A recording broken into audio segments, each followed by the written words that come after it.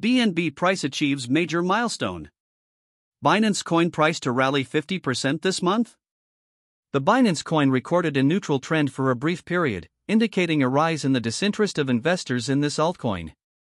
However, the BNB token has regained momentum and has recorded a notable run over the past few days.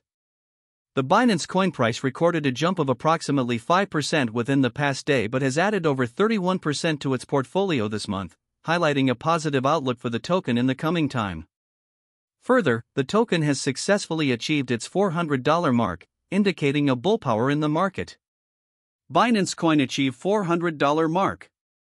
The BNB coin price traded in a closed range between $297.50 and $308 for over a week, following which the bulls gained momentum and recorded a jump of 10.18% over the next two days.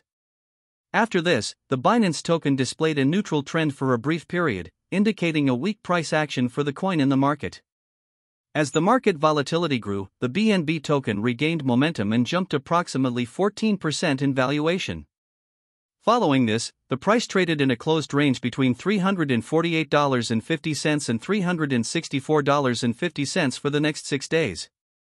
After multiple attempts, the bulls jumped 8.78% before facing rejection at $393.90. The Binance coin price traded sideways for a while, following which the bulls recently jumped 5%, resulting in it achieving its $400 mark after over two years. The Relative Strength Index, RSI, continues to hover above the overbought range, indicating a strong bullish influence in the crypto space. Further, the averages show a constant rise, suggesting the price will continue gaining value in the coming time. Will BNB price go up? If the market pushes the price above the resistance level of $401, the bulls will regain power and prepare to test its upper resistance level of $420 this week.